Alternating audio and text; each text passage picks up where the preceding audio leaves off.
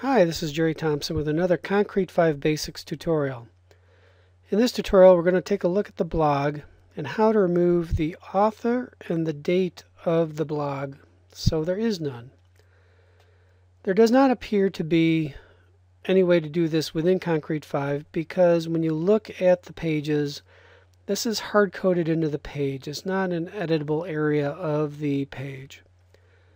And so we're going to actually have to edit three files uh, in order to remove that information.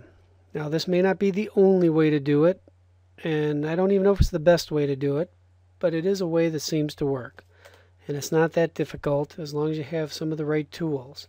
The tools that you're going to need here are going to be some sort of FTP program such as FileZilla and some sort of a notepad uh, text editor program such as Notepad++. To show you what we're looking at, we're going to log in first to our Concrete 5 website. The first thing we're going to do is go to our blog page and look at the dates and where they need to be removed from. So here's the main blog page. Here's the date in question. There are two ways of displaying the summaries on the blog page. One is in a vertical format like this, and then the other is a horizontal. So we're going to go to edit this page, left click, go to custom template. You have a thumbnail template and just a plain old blog, blog index template. And so now here's the more traditional way of displaying uh, the summaries on the blog page. And as you can see, the name and the date is really huge in this format. The other place that we have to go is the blog itself. So if you click on there, and you can see here we have the posted by date, admin, and the date and time. So those are the three things that we need to remove, and so there's three files that we need to do that. So the first thing we're going to do is open up FileZilla, open up a blank folder on our side. You can use any FTP program as long as it shows both sides here. The default themes for Concrete 5 are not in the normal theme or package directory. If you come down here to themes, it's empty. The default themes are up here inside of Concrete, and then there's a whole set of file folders that look similar, but here in this theme folder is where you have it. We open up the Greek yogurt, our default theme that we're using and here's the blog entry page. So this basically is the skeleton for the page. This helps lay out the page where you're entering your blog. We're going to download that and then we're going to go get the two template files for the blog landing page. Those are here's the top level. We're back all the way out to the top. Again, we have to click on concrete. Then we go to blocks. Now we got to find page list, templates, and we're going to alter both of these files. We're going to select them both and download them. Alright, once you have the files downloaded, you can select all three, right click, and hit edit. This is going to open up Notepad++ for me. I've already had this open, so I'm getting this is already being edited. Uh, normally you won't see that, but I'm going to say yes. And I got to use yes a couple more times. Sorry about that.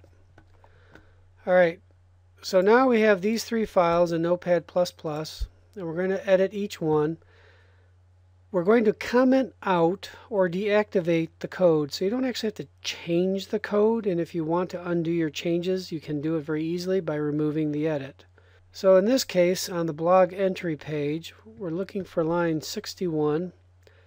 It could be a different number, but this is what you're looking for. Uh, where it talks about the author, posted by, author. And so to comment out, it's very simple. You do the left arrow, exclamation, dash dash, and then on the other side of the code, you do dash dash, the right arrow. So it's going to look like that and if you do it right it's going to be green. So we're going to start that at the very beginning. So left exclamation dash dash we go down to the end make sure you get everything, dash dash, arrow. If you've done it right, everything above that point will still be in color and everything below that point will be in color and at least some of the things in between will be green. Okay, so that one's done. For the blog index template, we are looking for this command right here. It says posted by author date, so that's the command. That's what's going to go in on that page. We do the left arrow, exclamation mark, dash dash. You notice the H4 turned green. And now we need to do the dash dash arrow and everything melts came back to color. And then same thing here. This one's a little trickier in that it's not quite as obvious on the blog index thumbnail, but you still see the date command here and this echo. Um, I'm not sure what that's pulling in, but that's the place. So again, left, exclamation, dash, dash, go to the end of the line, dash, dash, uh, right arrow. Now you can save all of these, and now we're going to re-upload them. If you get FileZilla wanting to upload them for you automatically, don't do that because it's liable to upload it to the wrong place. So there's the message. I'm going to say no, no, and no. And I like to delete the file that's there and then upload the fresh ones. So we're going to go right back to where the templates were. Now over here we have to go back to the theme Okay, we're at the right level for the themes. Here's the themes. Here's the Greek yogurt. Here's the blog entry. We're going to delete that and upload it. Now we're going to go refresh our pages and see if we were successful. So here's the blog page itself. We're going to hit the refresh. And you can now see that the author and the date is gone. We're going to go back to the main blog page. And where the date used to be above the picture here it's now gone. If we click on edit edit this page. And if we change the template go to custom left click custom template change that to plain old blog index. Again there's no uh, author or date here. As I said at the beginning um, I don't know if this is the only way to do it, and I don't know if there's any unforeseen consequences. I don't believe there are. But if there is a problem, please uh, post it on this video, and I'll see if I can resolve it. Otherwise, I'll just have to take the video down. Thank you for listening to this Concrete 5 tutorial on how to remove the author and the date from the Concrete 5 blog.